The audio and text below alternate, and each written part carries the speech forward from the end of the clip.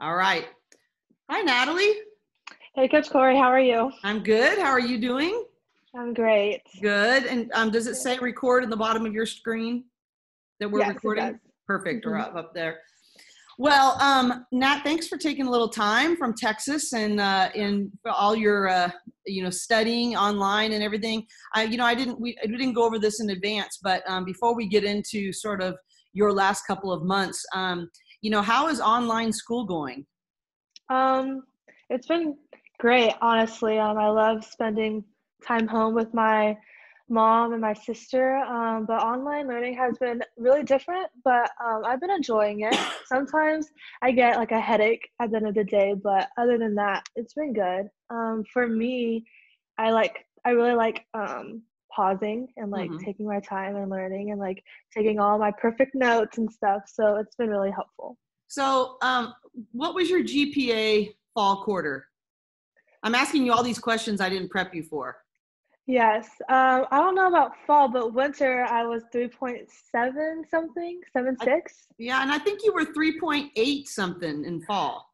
Yeah. So, um, so I guess what I'm saying is it's working. Whatever you're doing, keep doing it. Uh, and you know, were were you even that good of a i mean, you've always been a good student, but um, here you go to one of the elite institutions in the entire country, and you're an even better student than you were at Baylor. Is that correct? yeah, definitely. So what what have you attributed that to? I mean, you know, it got harder and you got better. So how how did how did you do that? um, for me, mentally, I feel like, I mean, the program has a big part of how like my mental has changed. I realized how important my academic side um, of my college experience is um, going forward into my future. Um, I never really took academics as seriously as I do now um, at my other at throughout high school and also at Baylor. But once I got to UCLA, I realized what a great opportunity I had to excel in different parts of my life. Um, and I really told myself that I really needed to focus on the academic side because who knows? I mean, having a degree at UCLA can take me anywhere. So I just wanted to excel in that part as well. Well, I'd say you're excelling times like on steroids, you know. So Mm. um, I could I could focus really really hard, and I'm not sure I would have ever gotten a 3.8 something, 3.7 something. I mean, you're just doing phenomenally well. So congratulations for that. Um, you. You know, we're we're recording this Zoom call um, because we want to give um, a picture to our donors. I mean, you actually just spoke. Do you have your glasses around by chance? I do. yeah. show. Okay, so yes. so she had just said those are blue light glasses. Oh, those are very fashionable, Natalie. Thank Yes, you. yes. So, but um, our donors bought those for our team um, through our foundation account because you guys were on your screens all day long, and it was it's, it has the potential to give headaches, uh, also to affect your sleep. And so this was a way that we could meet the need um, of you all because you are doing uh, such a great job in taking your academics seriously. But I mean, you're on screens what eight hours a day? Yeah, like I'm just sitting at this spot like the whole day. Mhm. Um, and the first week I was getting a lot of like little headaches and stuff, and I like couldn't really focus on my schoolwork. But um, once I got these, it's been so helpful. And like I don't, I can just, I don't want to, but I can just sit here and look Yeah. at my screen the whole day. So yeah, That's I'm really thankful for these. Yeah. Well, we're getting them for the staff now too because uh, we think that you guys have made a big difference. You can take them off because I know you don't want to do them the whole time. So, um, but that's just another way that uh, you know our our Bruin Elite helps us meet the needs of our student athletes, and they've just been available to us at every turn. Um, but we wanted to spend a special time. Um, uh, you know, sharing your story because not only would it have not happened without them, but it is literally, would you say it's fair to say this has been sort of a life changing couple of months for you in, in telling your story? Absolutely. I would have never had, I don't think I would have had this opportunity to um, tell my story and also my mom's in such a beautiful way and such Mhm. a creative way without Mhm. the help of everyone at Bruin Elite and also the staff. Yeah.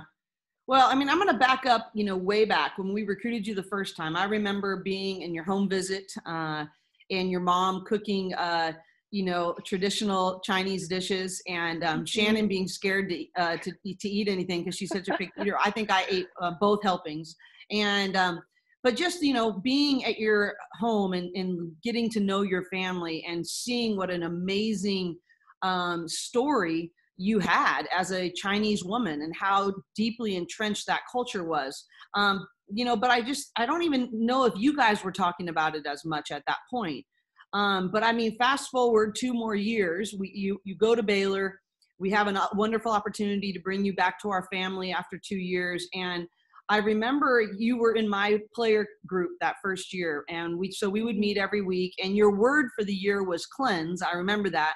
But through the cleansing, I think you were more deeply discovering uh, how much your background means, you know. And so I remember one of our meetings. I asked you, so tell me, one of our core values as a program is being a lifestyle giver and um, I asked you, what do you think your service legacy, what you want it to be? What, how do you want to be uh, a lifestyle giver that's uniquely gifted to you?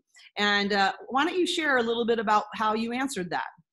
Yeah. Uh, well, I mean, since coming to UCLA and uh, spending time with everyone on campus and stuff, um, I really, it's really opened my eyes to all the opportunities and all the things that I can do because of my platform as a student athlete. And then also, I mean, the coaches and my teammates have like told me how kind of special my situation is um, because I think the stat was in 2018 there was 1% um, Asian American woman playing in Division One basketball, and so I feel like I really took to heart that stat, and I realized how special the platform I have um, for the Asian American community is. Um, and so, and then Coach Cori, you always say like, who are we influencing and what are we giving? And so I really made it a point to myself that since there's no one else that looks like me um, in like the athlete world, um, basketball specifically, I wanted to be that person that little girls and boys could look up to, Asian little boys and, and of all races actually mm-hmm. can look up to and see that oh like you can dream big dreams and you can if you're really passionate about something you can go pursue it. It doesn't matter um, like the stereotypes or the barriers you face. If you really want to pursue something you you can. Yeah. Well and you have. You know i think about this year specifically on our asian american heritage night that we had mm-hmm. surrounding the game i can't i'm just blanking out who did we play that night you remember I think it was one of the Washingtons. I think it was. You're right. I think it was either mm-hmm. Washington or no, it was Was- Washington or Washington State. I can't remember one, mm-hmm. but I mm-hmm. think you're right. And um, and I remember going, oh no, it was Washington um, State, I think, because it was our Washington because it was the overtimes and it was Friday night, and and it was all. And so I was wondering if there was going to be anyone left up top to uh, ask for your autograph after. And I remember thinking to myself, ah, you know, I, I, such a missed opportunity. I know, I know Natalie was so looking forward to um, seeing these faces and investing in them. And, um, and then I, you know, little did I know, uh, we get done with the um, post game talk and media, and you go up there, and the line is all the way around the concourse, still waiting uh, to get your autograph and for you to have contact. Uh, you know, tell, talk about talk about that night and what that meant to you, and and just sort of how that affected, um, you know, how your platform was being used. Yeah. Uh, well, shout out to Dana from marketing for getting all of that set up. Um, I knew it was like the first time that we've ever kind of done something for Asian American heritage, so I'm really appreciative for all the hard work that she put in. Mm-hmm.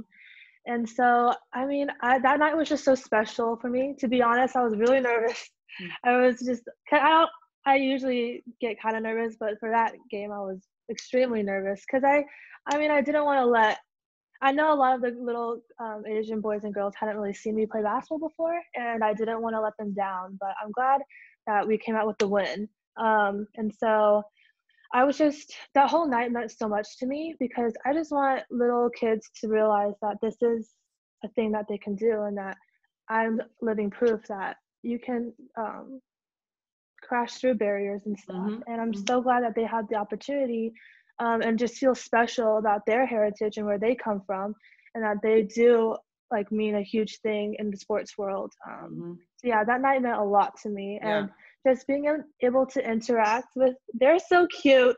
Oh, mm-hmm. Oh, oh, my gosh, and yeah, so um, they're just so nice, and I'm just so glad that I get to have this platform to influence these amazing, beautiful little people.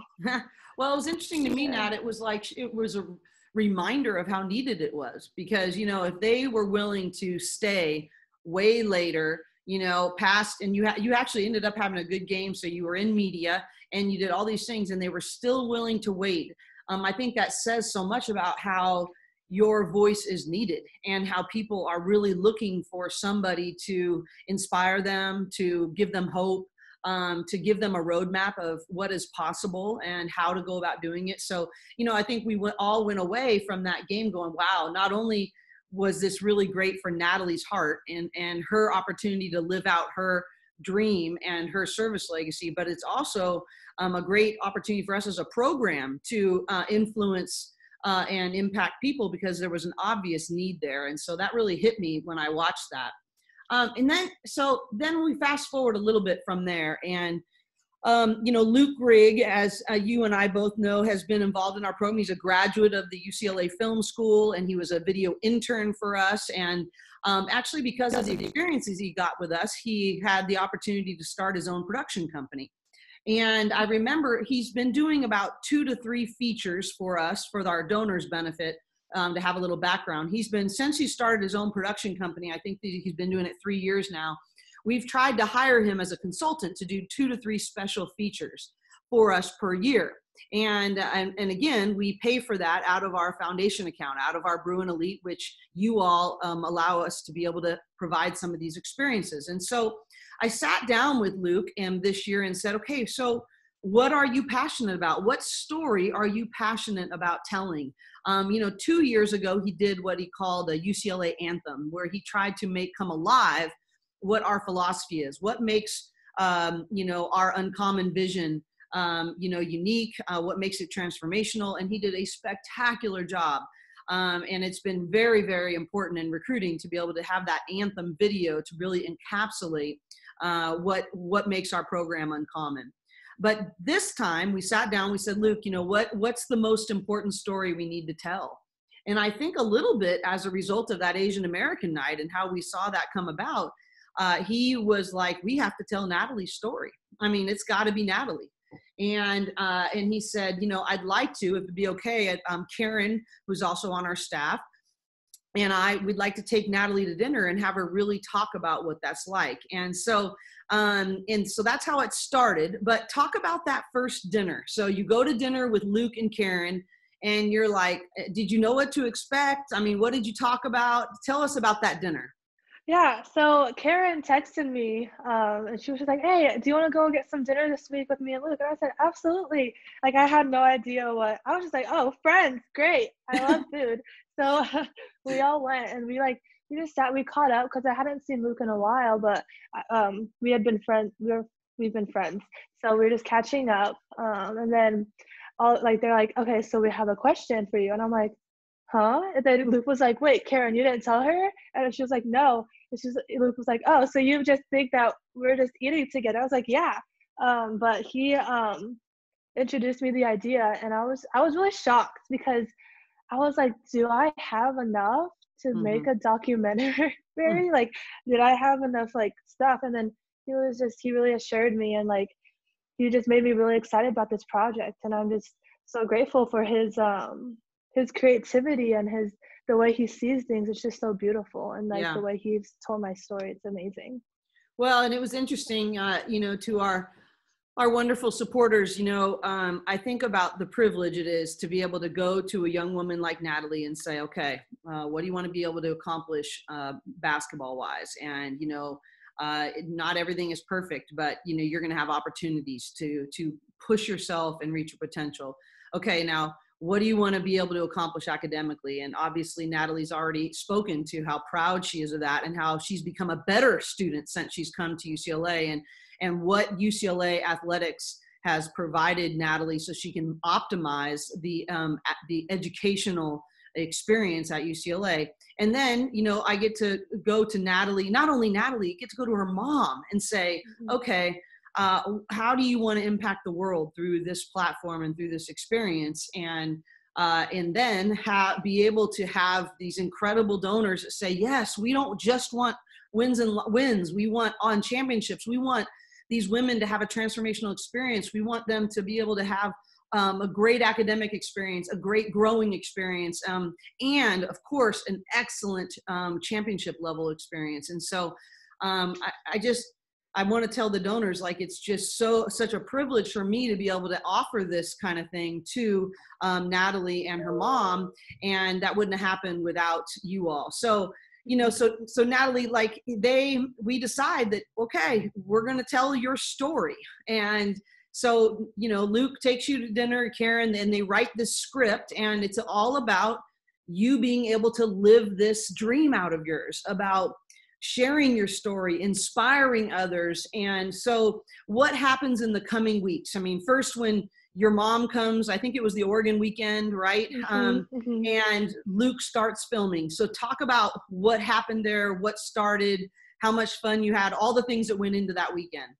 Wow, it was amazing. Um, it was actually perfect timing that my mom my mom had already planned on coming to LA to watch the the games for a couple of weekends, um, and that's when we started filming, and it was just perfect. Um, so we got we shot a lot around the UCLA campus and like in, in the gyms, and then an amazing opportunity to go shoot in downtown LA on a beautiful rooftop.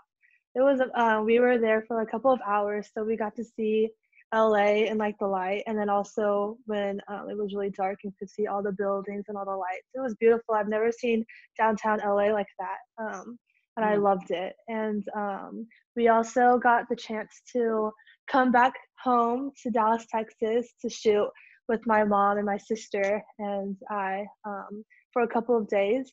And I mean, just coming home, I love home, so it was such a treat for me to see my family and my dog um, but like yeah but it just it was such a pleasure and luke and circle 3 productions makes um, the whole the whole project like flow it was really easy it was really comfortable and i'm just so thankful mm. Yeah, and we, you know, she flew back. She didn't miss any class. Don't anyone worry. But she mm-hmm. flew back after the Sunday game where we, the overtime game where we beat Oregon State. She flies back to Texas. They film all day uh, Monday and flies back on Tuesday morning. She mm-hmm. doesn't have class on Tuesday on Mondays. So, um, so anyway, she comes back and uh, it's just you know we it gets made. We do the teaser and um, included with this video, we're going to include the teaser as well as the full documentary that we send to the Bruin Elite as a thank you. Um, but the reality um, that is just uh, it blows me away is uh, I don't know. It's just it's sort of this uh, incredible turn of events. So this is all determined before the pandemic, right? We don't know anything that's going to happen. So we do all of this filming. Um, we have these great discussions about how it's affecting you. Your mom, I can just tell her eyes light up when she got a chance to feel like, um, you know, her story was really being told. I'm going to stop there actually before I go on to the next piece. What was that like for you to watch your mom's reaction? I mean, my mom is such a rock star to me. And I mm. feel like this documentary and this project has allowed her to like blossom into the mm. superstar that she is and for people to see that how amazing she is um before uh, like this project or anything um her and i would always like talk like we don't have enough pictures with each other like we there's no pictures of us like with me being older um, in college and now, um, except like one or two, and we're like, we need to take more pictures. And then this documentary came out, this idea, and then I just it like blew my mind because this documentary can be like, it's gonna be forever, and it's mm. something that I can show my kids, and it's something that will be in our, my family forever. And it's just such a permanent thing that my mom and I can share. And it's just so special because right. I I don't think I wouldn't have had this opportunity anywhere else. And I'm just so mm. thankful that I can share this with my mom. Mm, it's pretty cool. Okay, so now we have this big plan. We're going to release the documentary the day of the selection show for the NCAA tournament. We were going to release it with ESPN. We were going to release it with uh, with the Pac-12 networks, and we thought we had all these plans, and we thought, oh, we were then the pandemic comes and we think, oh my gosh, uh, the NCAA tournament gets canceled, and we're sort of like, oh bummer, we can't do the big splash with Natalie's documentary. But little did we know that uh, there was a lot coming. But um, you, uh, you know, so you go home, and I'll never forget. Um, you know, I I'm out in my backyard and I read this tweet that you put out, and I call you immediately, and you're out walking your dog in your neighborhood, and I say, Natalie, what happened? This tweet talked about how. Well, why don't you talk about that first tweet and what did you say and what happened? Yeah, so um, I after everything went down with school and also the NCAA tournament, I went back home to Dallas, Texas. Um, and just, I had seen on Twitter and social media about the reaction to um, to the coronavirus um, towards certain to Asian Asians around the world. Um, and I just see, saw that they were being like harassed. There are a lot of cases where people were being harassed and attacked physically, verbally um, and I knew that did not that did not sit right with me because it really close it hits really close to home. And then so I was at the airport and I could just kind of sense just the difference, the the little the just the vibes. You know, I I knew something was off um, when I was at the airport. I had my mask on. Just people were responding and looking at me differently, and I kind of knew what it was about. Um, and then when I came back home, I hung out with some friends before every before like everything was shut down and social distancing was taken for ser- really seriously. Um, and just an acquaintance of mine just said something really, just not really uh, respectful. It was just, it just came out and it, it really did not sit right with me. I didn't say anything at the time because it's my default to not say anything and just to walk away. And so that's what I did. But then after thinking about it a while and seeing all of these stories come up about Asians across the world being attacked, I felt like I needed to say something because of the platform I did have. And also, I wasn't really seeing anyone else saying anything. So I felt like someone needed to say something. Mm-hmm. So I mm-hmm. composed a tweet um, just about using the correct terms and just the correct rhetoric to um, describe the mm-hmm. coronavirus and just, yeah. Well, and yeah. the other part that you shared with me that day is you went to the grocery store and mm-hmm you were walking through the grocery store and and you know you're in plano texas there's not a whole lot of um, asian americans right? I mean we have a lot more of an asian uh, background here in southern california than we do in plano texas. Is that fair to say? Mm-hmm. yeah.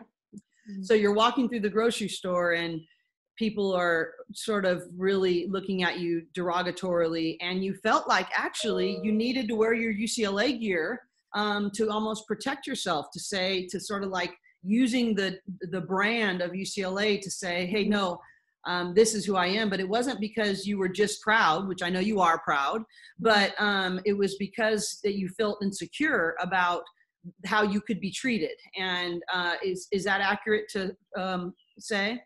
Yeah, absolutely. Um, so I would, I mean, wearing this UCLA, like it means so much to me personally, and but I felt like it was for wearing this out um during this pandemic i feel like it was for my own mental mental mm. like just yeah. sanity mm-hmm. um to go out there and be like because the first thing people will see strangers will see like i'm chinese like i'm asian and then they'll go directly to the coronavirus and then they'll just have a lot of well in my opinion i feel like they'll just have a lot of assumptions mm-hmm. assumptions about me but mm-hmm. i felt like if i were all my ucla gear i was decked out in athletic gear that people would form a different narrative about me like oh she's not just an asian girl you know right. she's more than that so that's um it was used as like a defense mechanism for me. Right. So, yeah. Well, and then so then on top of that, the other part about your tweet that really spoke to my heart is um, you not only internalized it for how it affected your journey, but it, you automatically went to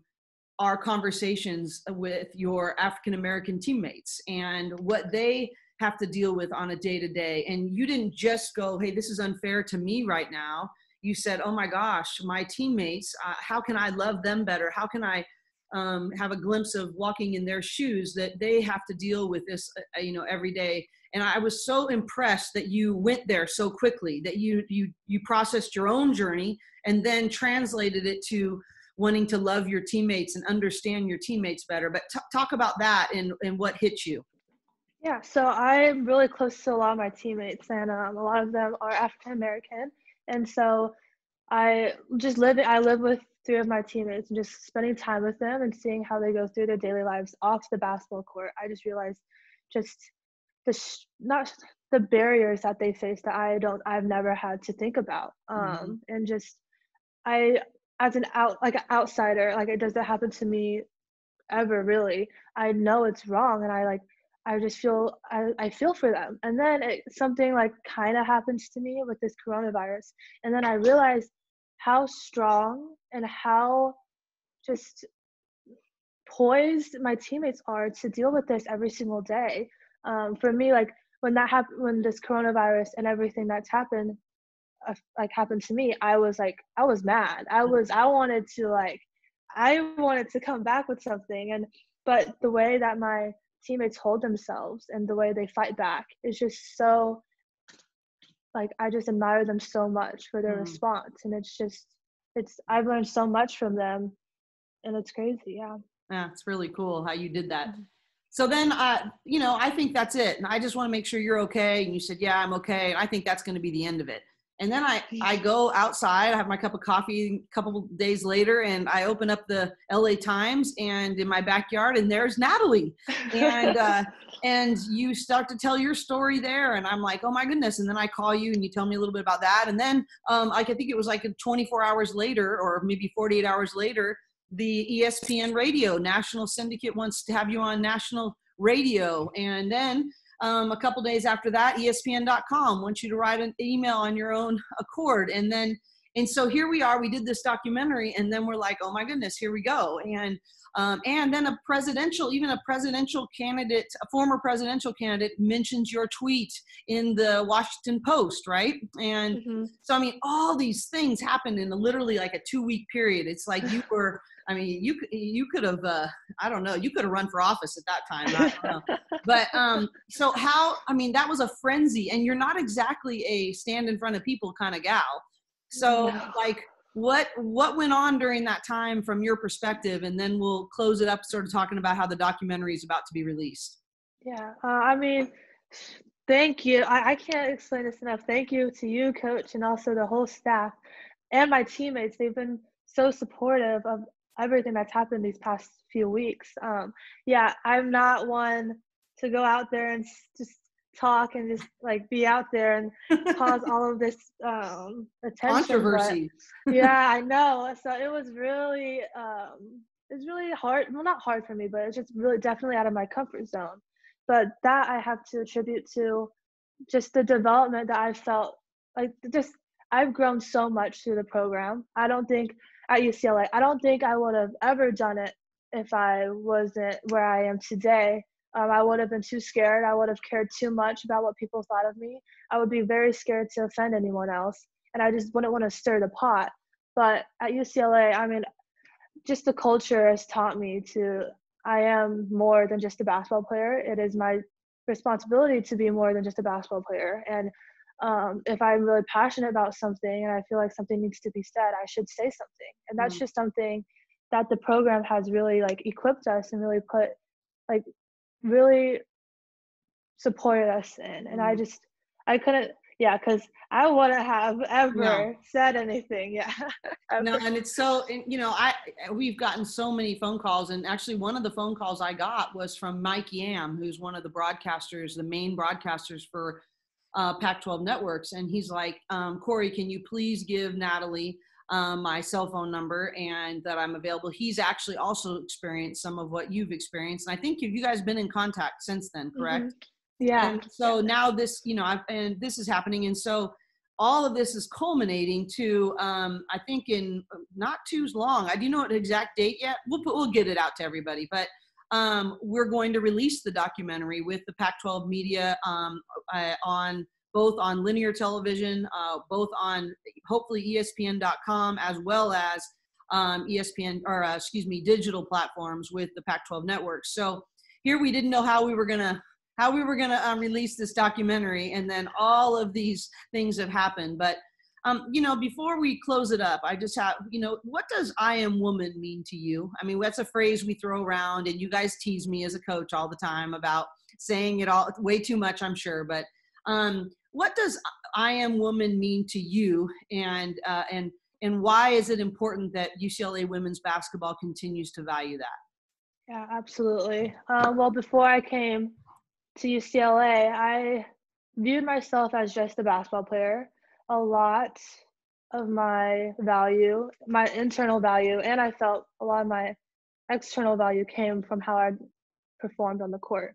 Mm. And I mean, when I couldn't perform and if I didn't play well, like I was, I was injured uh, my sophomore year, and when I couldn't play, I just my whole world was just tossed and turned. Um, my emotions were up and down. My mood would be up and down because I put so much value um, in my performance and how people viewed me through the basketball lens. And mm-hmm. so, I mean, that's how I lived a lot of my life um, when I was younger. And yeah, so it was when I came to UCLA, um, just the perspective like I am woman and not like I am a basketball player. Like that just changed the whole way I viewed myself and how I viewed the world and people around me. Um, what do you I have mean, to write at the top of your What Went Well journal every day?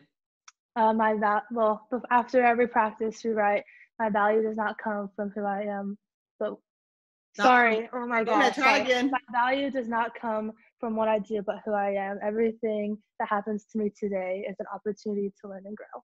Good job. Sorry. oh my god.